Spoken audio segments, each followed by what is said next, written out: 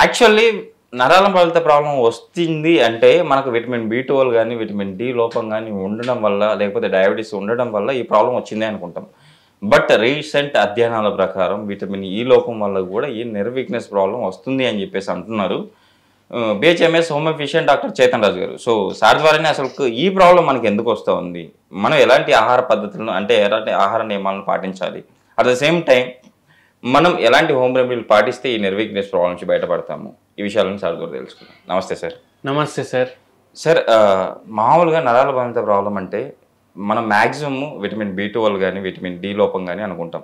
But ఈ మధ్య కాలంలో విటమిన్ ఈ లోపం వల్ల కూడా ఈ ప్రాబ్లం వస్తుంది అని చెప్పేసి మనం వింటా ఉన్నాం. సో ఎందుకు మనకి ఈ ప్రాబ్లం వస్తూ ఉంది? ఈ ప్రాబ్లం రావడానికి గల కారణాలు ఏంటి?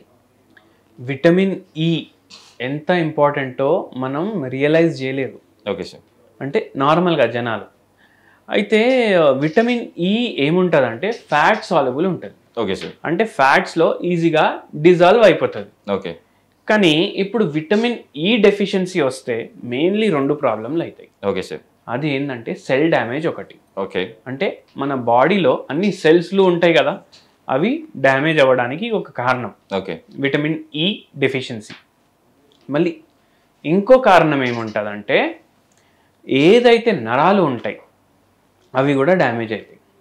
అండ్ వెరీ ఇంపార్టెంట్ ఏంటంటే ఇమ్యూన్ సిస్టమ్ ఉంటుంది కదా బాడీది ఎస్ సార్ అది కొద్దిగా తగ్గుతుంది.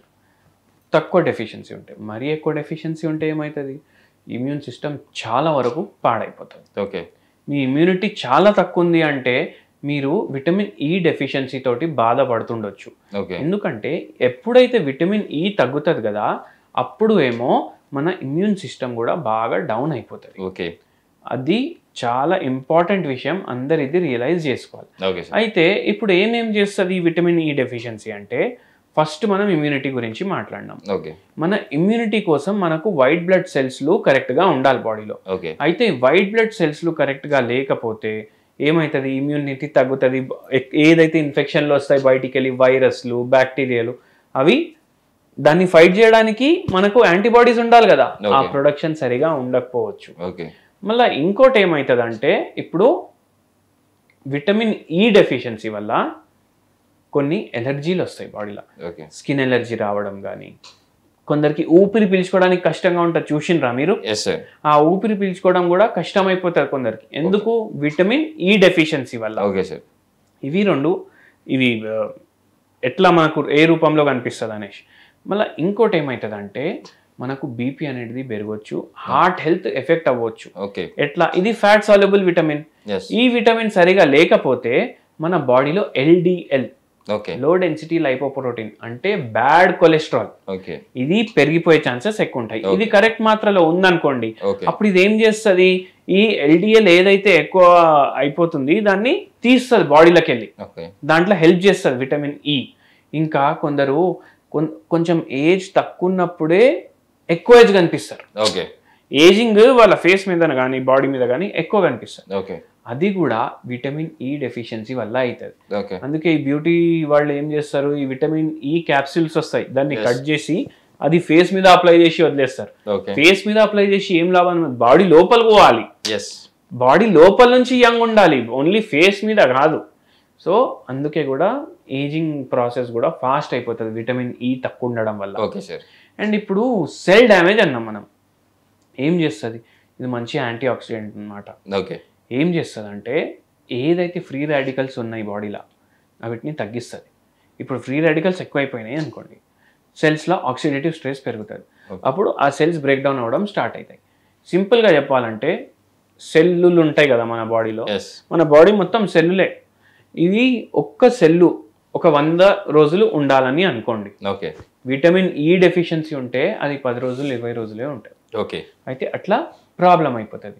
ఇప్పుడు ఈ సెల్ డ్యామేజ్ అయితే మనకి అర్థం అయిపోయింది ఇప్పుడు మన నరాలు ఉంటాయి కదా? ఎస్ దానివి అవి కూడా దేంతో అయినాయి సెల్లులతోటే అయినాయి. ఎస్ అప్పుడు ఆ నరాల సెల్లులు కూడా డ్యామేజ్ అవుతాయి అట్లా మైలిన్ షీత్ ప్రాబ్లమ్స్ పెరుగుతాయి.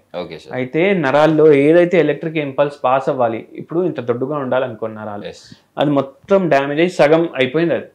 అప్పుడు ఏమవుతుంది కరెంట్ కూడా సరిగా పాస్ అవ్వదు. నరాల బలహీనత స్టార్ట్ అవుతుంది ఇప్పుడు ఒక పేషెంట్ మన దగ్గర వచ్చిండు. ట్రైగ్లిసరైడ్స్ ఫుల్ ఉన్నాయి. కొలెస్ట్రాల్ ఫుల్ ఉంది. నరాల బలహీనత ఉంది. నిద్ర వస్తలేదు ఏమంటుండు? నిద్ర ఓంగానే మెడలాగుతుంది నాకు. Okay sir. ఇది మెత్త పెట్టుకోవాలి ఒకటి. ఓకే. మెత్త పెట్టుకోకపోతే ఫుల్ మెడ లాగుతుంది ఓకే. అయితే నేను అన్నాను కానీ మీరు పిల్లో లేకుండా మీరు పడుకుంటే స్పాండ్లోసిస్ కూడా వచ్చే ఛాన్స్ ఉంటుంది సార్. అంటే ఓకే. అరే అవును సార్ ఎట్లా చెప్పిండ్రు? స్పాండ్లోసిస్ కూడా వస్తుంది నాకు. మెడ కూడా లాగుతుంది. చక్కర్లు వస్తున్నాయి. అని అంటుండు. అయితే రైట్ సైడ్కి తిరుకొని తిరిగేసి పడుకుంటే ఆయనకు చక్కర్లు వస్తలేవు ఓకే. ఈయనకు విటమిన్ ఈ లోపం కూడా ఉండే. ఓకే. మనం మందులు ఇచ్చినాము. విటమిన్ బి ట్వెల్వ్ కూడా రిస్టోర్ అయ్యేటట్టు ఈ కూడా రిస్టోర్ అయ్యేటట్టు మందులు ఇచ్చినాము. ప్లస్ దీనికి ఒక హోమ్ రెమెడీ కూడా చెప్పినాం అది ఏంటంటే బాదాంలు ఉంటాయి తెలుసు కదా. మీకు? బాదాంలు ఒక పది బాదాంలు ఓకే. అక్రోట్ ఉంటుంది. ఓకే. అది ఒక రెండు మూడు. అవి ఇంకా ఒక ఐదారు కిష్మిష్లు ఓకే. ఇవి నానబెట్టేసి వదిలేసేయాలి. ఓకే. నానబెట్టేసి వదిలేసి నెక్స్ట్ డే మార్నింగ్ ఇది ఒక పేస్ట్ లాగా చేసుకోవాలి. ఓకే. పేస్ట్ లాగా చేసుకొని తినేసేయాలి. ఓకే. తినేసి మింగేసేయాలి. అయితే దీనివల్ల ఏమవుతుంది మనకు విటమిన్ ఈ లోపం ఏదైతే ఉంటుంది అది తగ్గించడానికి హెల్ప్ చేస్తుంది. విటమిన్ ఈ దేంట్లో ఎక్కువ ఉంటుందంటే దేంట్లో ఇప్పుడు నట్లు ఉన్నాయి ఎస్ బాదాంలు కాజులు పిస్తాలు అక్రోట్లు ఇవి ఇట్లా బాగా ఎక్కువ ఉంటుంది విటమిన్. ఓకే. అయితే ఇవి ఎక్కువ కన్జ్యూమ్ చేయాలి. మళ్ళా సీడ్లు. ఓకే. ఏ సీడ్ అన్నా దాంట్లో విటమిన్ ఈ అనేది మంచి మాత్రలో ఉంటుంది. Okay sir. అంటే ఆహార పద్ధతులు అంటే మన ఏమన్నా ఆహార నియమాలు ఏమన్నా చేంజెస్ చేసుకోవాలంటారా వీళ్ళు?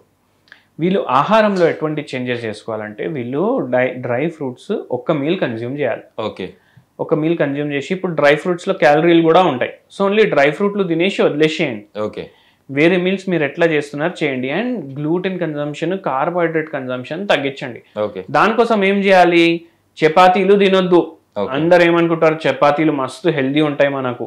ఇది మన దేశందే కాదు చపాతీలు అంటే. ఓకే సార్ ఇది వేరే దేశంలోకి వెళ్ళి వచ్చింది. మీరు చపాతీల బదులు జొన్నలు ప్రిఫర్ చేయండి. ఓకే సార్ జొన్నలతోటి రొట్టెలు చేసుకొని తినండి. లేకపోతే జొన్నలు ఫుల్ గ్రెయిన్ ఉంటుంది కదా. దాంతో ఉప్మా లాగా కూడా మీరు తయారు చేసుకోవచ్చు. ఓకే అది తయారు చేసుకొని తినండి. ఇది తయారు చేసుకొని తినడం వల్ల ఫ్రీ రాడికల్లు తగ్గుతాయి మన బాడీలో. మీ సెల్స్ ఏదైతే డ్యామేజ్ అవుతున్నాయి విటమిన్ ఈ లోపం వల్ల అది దానికోసం మనం ఏం చేస్తున్నాం? నట్లు ఎక్కువ తింటున్నాం. ఓకే. మళ్ళీ జొన్నలు ఒక మీల్ తింటే ఏమవుతుంది ఆక్సిడేటివ్ స్ట్రెస్ తగ్గుతుంది. ఓకే. సెల్స్లు మంచిగా అవ్వడం స్టార్ట్ అవుతాయి. ఓకే. చూసారు కదండి మీరు కూడా అంటే విటమిన్ ఈ లోపం వల్ల మన నరాల బలంతో మనకు ప్రాబ్లం ఎందుకు వస్తుంది? దేంతో అంటే ఈ విటమిన్ మనకు దేంతో ఎక్కువగా దొరుకుతుంది? ఈ విషయాలన్నీ చాలా చక్కగా చెప్పారు కదా సార్. కంపల్సరీ మీరు కూడా ఇది సార్ చెప్పినట్టు మీరు పాటిస్తూ ఈ విటమిన్ లోపాన్ని తగ్గించుకొని నరాల బలంతో తగ్గించుకుంటారని చెప్పేసిద్దాం సార్ ఈరోజు మన ప్రశ్నలో చాలా చక్కటి వివరణ ఇచ్చారు. Thank you sir